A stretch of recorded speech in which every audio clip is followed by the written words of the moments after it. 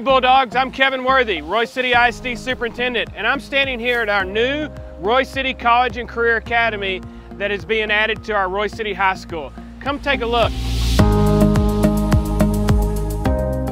I'm standing here at the front entry of the Royse City College and Career Academy. As you enter into the building, you will notice this is going to be a large open space that allows for a collaborative atmosphere, really a collegiate feel to this facility. We're super excited to be able to house our early college high school here, which will uh, be a partnership with Paris Junior College and Texas A&M Commerce to offer associate's degrees to our students. I'm standing here on the first floor at the RCCCA, and this to my left here is going to be our new ag facility. It's going to house our welding program along with our small engine repair. This is going to be a great opportunity for our students to earn certifications.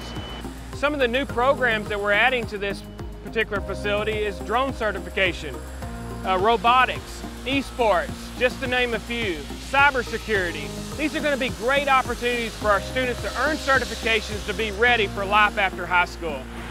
This 100,000 square foot addition to Royse City High School is going to bring up the student capacity to 2750. This is going to allow for us to accommodate the growth that we're seeing at Royse City High School. Come on, let's take a further look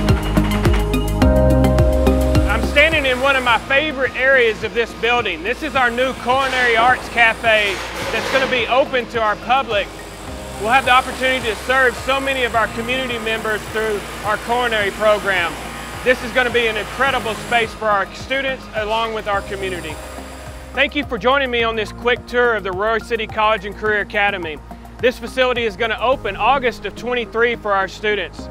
We can't thank you enough to our community for the support of the bond program of 2021. We'll keep you updated on the progress of this wonderful facility. Thank you.